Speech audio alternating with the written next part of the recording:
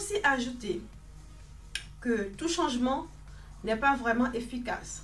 Tout changement n'est pas progressif, n'est pas un avantage.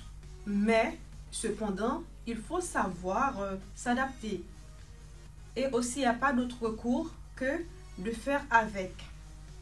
On peut aussi ajouter que même si on n'est pas d'accord avec une situation, non seulement il faut l'accepter, et aussi, au lieu d'être impératif, il faut aller de l'avant, posez-vous des questions, savoir comment et pourquoi on nous impose cette chose, et aussi allez vous documenter sur, cette chose. Pourquoi? Pourquoi c'est maintenant? Qu'est-ce que cela va produire dans les futurs, etc.